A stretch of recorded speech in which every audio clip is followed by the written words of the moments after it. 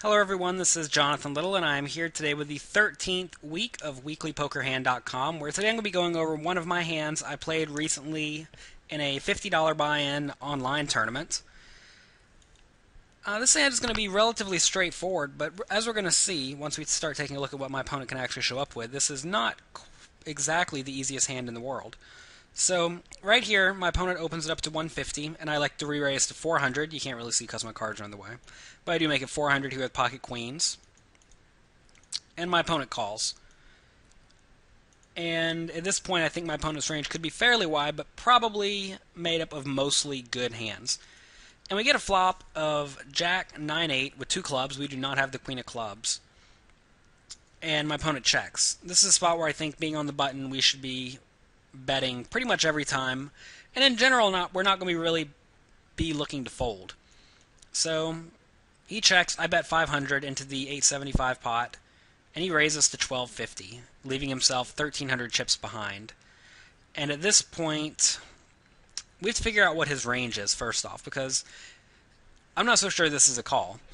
I'm going to pull up a poker program real fast, and I'm going to plug in our hands and what I think his range is, and we will see how much equity we have in the hand. Okay, what I have done here is I have gave, given my opponent a range of jacks, tens, nines, and eights, which would be uh, either sets or the straight draw with the jacks. Jack 10 suited. Ace, queen of clubs, king, queen of clubs, ace, ten of clubs for the flush draws. And then ace, jack of spades, king jack of spades for top pair, and also ace jack offsuit. Whenever I, he raises from early position, remember, and I re-raise him, let's go back to pre-flop. He made it 150, I re-raise. In this spot, I expect him to, to play pretty tight. And because of that, I do think we can assign him a range that is exactly this tight. Um, we could give him 10-9 of spades also, or 10-9 suited. Um, I guess we'll go ahead and give him 10-9 suited, but beyond that, I don't really think he's going to show up with too much. So, if we give him this range, we will see that Pocket Queens actually is in pretty good shape. We have 61% equity, which is obviously fantastic. Uh, if we take out some of these hands, like say he's never calling with Ace Jack, which most pl- good players never would, take out King Jack suited, most players would fold that every time, and take out 10 9 suited, let's see how that changes things. You see now, pocket queens becomes a coin flip, which is a whole lot worse than 60%. And I think this is what we're going to most likely be looking at. Um, if we take out Jack 10 suited and leave us with a range like this, we could probably take out Ace 10 suited if we're taking out Jack 10 suited. We'll see that our equity is actually now below 50%. We're at 48% equity. So in this spot, purely because my opponent raised from early position and then called re-raise, then decided to do this check raise play on the flop, I think he has to have a very strong hand here. And you'll notice that against against that range that we just decide, determined, our hand's not in that great a shape. Let's see how it happen, how it changes if we if we add an aces and kings, like a slow played aces or kings. We dip down dip down to about 40% equity, which I don't think he's really going to be slow playing aces or kings. This is a spot where pretty much everyone's getting all in with aces or kings every time. But um, it's a tough spot. So right here, what we're going to have to do is we're going to have to put in, let's get out the calculator just to show everyone what's happening. We're going to have to put in whatever a stack was, 2600 minus the 500 we already have, already have put in, so we have to put in 2100 chips. And if we do get it all in, it's basically going basically going to be 875 which is already what's in the pot, plus our 500, plus his 2500 equals plus the 2100 we're putting in. Then we do 2100 divided by that number, 5975 I think it was. And you'll see that we need 35% equity to justify a call here.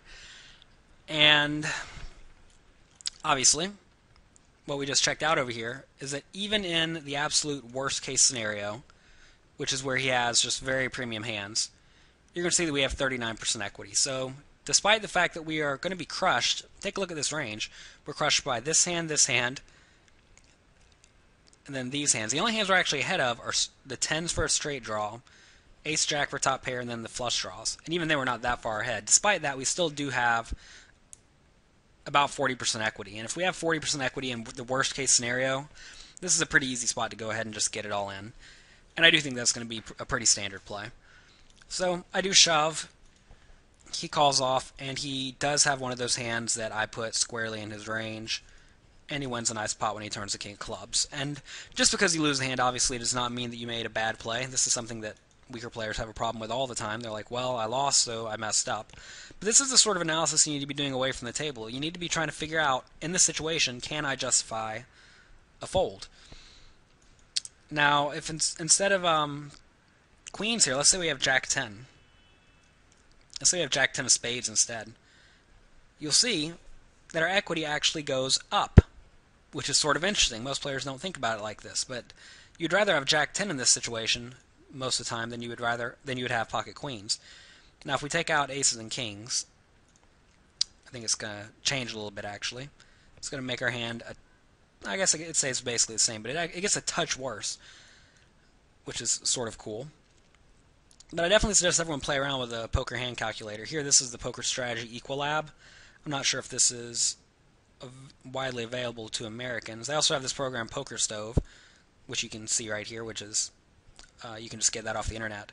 So I definitely suggest everyone do that. And anytime you have a big hand that you're not too sure what to do, get there and run the numbers and see if you're getting the right odds to call. And in this spot, we needed about 35% to call. And, you know, we're probably about 40% in the worst case scenario. And anytime your worst case scenario is better than the break even point, then it's obviously a clear call.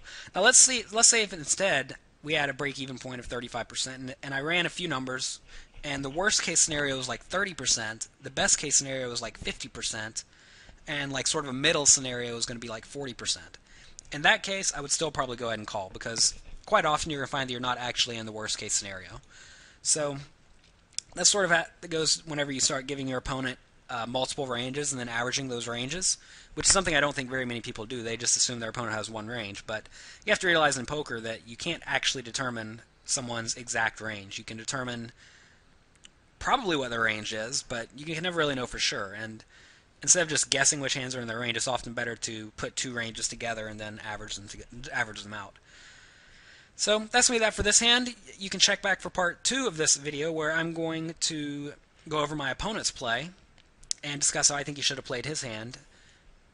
And that will be that for week 13. If you guys have any questions or comments, or if you would like to see one of your hands reviewed here, please send it in. This has been Jonathan Little for WeeklyPokerHand.com. Thanks for watching.